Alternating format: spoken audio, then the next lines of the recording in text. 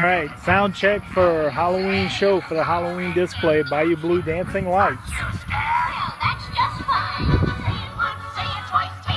I'll show you what we got pushing the sound.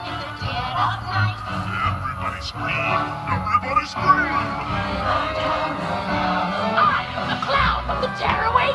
Alright, so this is the Yorkville 4-inch monitors. Got one on this side. And one on this side.